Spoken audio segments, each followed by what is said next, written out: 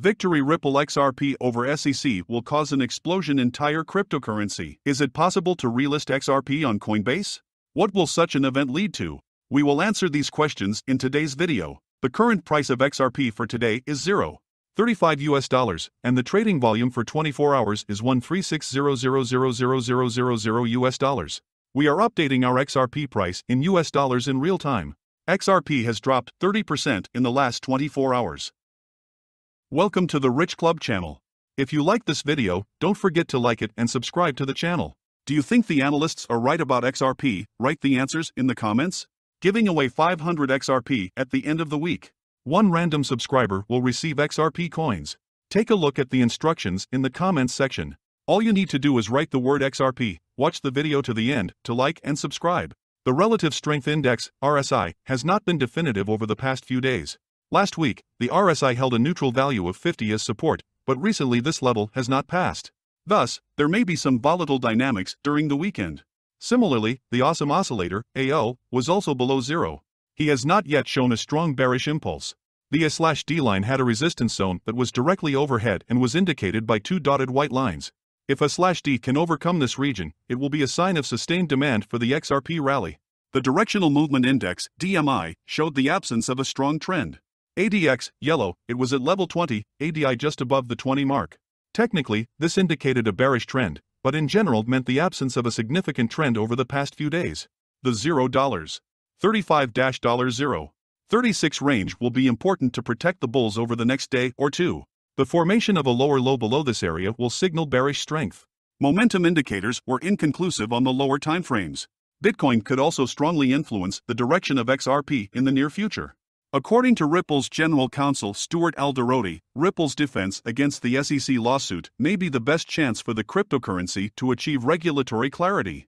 At the moment, Ripple has incurred more than $100 million in legal costs in its defense in the ongoing lawsuit against the SEC. Thanks at Nikki Christoph for having me.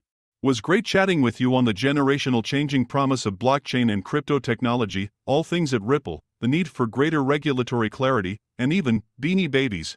Alderoty has often spoken about what he calls the abuse of authority by the SEC, stating that SEC Chairman Gary Gensler took an aggressive regulatory stance instead of cooperating with other regulators.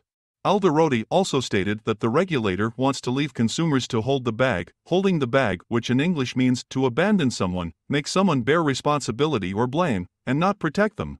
Gensler, who was confirmed as the new SEC chairman in April, often states that he believes that the vast majority of cryptocurrencies are securities.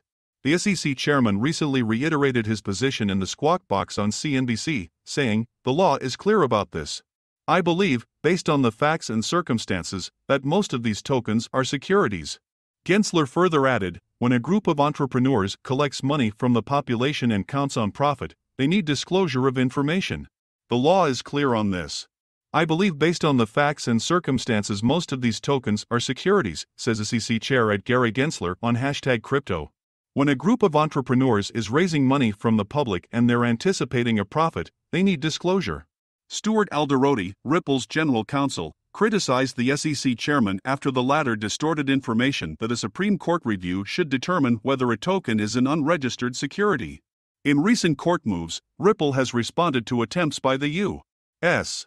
Securities and Exchange Commission to prevent the two firms from filing brief reports on the case. The Securities and Exchange Commission has asked District Judge Analisa Torres to reject TapJets Inc. and iRemit Inc.'s requests to submit summaries in support of Ripple. The U.S. Securities and Exchange Commission (SEC) has filed several lawsuits against various firms and individuals for violating securities laws. In addition, Gary Gensler, the chairman of the SEC, made various statements about the regulation of cryptocurrencies. Attorney John Deaton has repeatedly accused Gensler of his loose interpretation of the Securities Act. In an interview with CNBC, Becky Quick mentioned that the chairman of the CFTC said they should regulate some cryptocurrency related assets along with the SEC. She added that the Securities and Exchange Commission has developed some precedents and cited several examples of people agreeing to settle a dispute with the agency. She added that these steps confirm that the SEC should have more control over the industry. To this, the SEC chairman replied that everything is clear in the law. He claims that based on the facts and circumstances, most tokens are securities. At the same time, he added that when a group of entrepreneurs collects money from the population and they all expect to profit from it, they need to disclose it. However, John Deaton, a lawyer who has amicus curiae, friend of the court, status in the XRP lawsuit, expressed concern about this statement. He said the SEC chairman is wrong about this. Gensler ignores two basic requirements stipulated by the law. Firstly, it ignores the general requirements for a common enterprise. Secondly, the SEC chairman ignores the non investment use of tokens. If it is not acquired for investment, it is not a security. He added that the chairman of the Securities and Exchange Commission is literally poisoning the public with cryptocurrency. Earlier, Deaton's lawyer commented on the SEC chairman's new interpretation of cryptocurrency regulation in the Kim Kardashian case. As a result, the American celebrity paid about $1.26 million in fines to settle the case. The lawyer added that the commission no longer speaks of cryptocurrency as digital securities. This term was used in the Ripple and LBRY case. Now the SEC chairman calls them crypto securities. In a recent tweet, Brad Garlinghouse, CEO of Ripple, expressed his outrage at the growing number of fraudulent bots on the popular platform.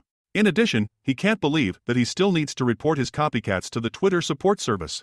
He added that there are many verified fraudulent accounts on Twitter. These fraudulent accounts use the name of Garlinghouse, Vitalik Buterin, co-founder of Ethereum, and Changpeng Zhao, CEO of Binance, to write fraudulent cryptocurrency tweets. The CEO of Ripple is still waiting for some action, while a huge number of fraudulent accounts are using the platform. He also shared the email he received from Twitter. It mentions that a registered account does not indicate a violation of their identification policy. These fraudulent crypto accounts and Twitter bot responses have been noted by some cryptanalysts and experts. These accounts posed as Binance CEOs and sent spam on Twitter. While Garlinghouse's image and name are used to distribute fake XRP tokens, Twitter, the social media giant, is embroiled in a lawsuit against Elon Musk over the rejection of a $44 billion acquisition deal. The richest man in the world claims that the social network provided inaccurate data on Twitter bots. It mentions that there are many more fake accounts running on the platform than the company estimates. Tapjets, an airline charter company, has joined iRemit with a request to provide a summary that will demonstrate the usefulness of the XRP token. Tapjets, a private jet transportation company, has asked the court to file an application to provide the Ripple blockchain company with a helping hand in its litigation with the U.S. Securities and Exchange Commission. This letter to the court should show the usefulness of the token, which was recognized by the SEC as an unregistered security. Tapjets, which accepts XRP in exchange for its services, claims that such a payment option is vital because it allows you to book flights during non business hours of banks, while not having restrictions on transactions for transfers. Thus, the company is able to provide its services in real time. In the offer letter, Tapjets insists that it has no financial relations with the defendants in the case. However, the company claims that it is interested in the outcome of the trial because it has invested in the technology. Tapjets claims that her business will eventually suffer losses if the court recognizes XRP as a security, which will probably prevent her from using the token. Tapjets is the only company that allows you to instantly book charter flights on private planes.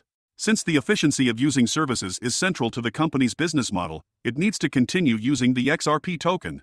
iRemit, a Filipino money transfer company, has also applied to participate in the Amicus program to demonstrate the usefulness of XRP.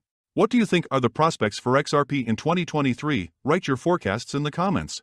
Thank you for watching this video to the end. Please do not forget to like it and subscribe to the channel so as not to miss the release of new videos and do not forget about our contest. Write in the XRP comments to add 500 XRP to your account.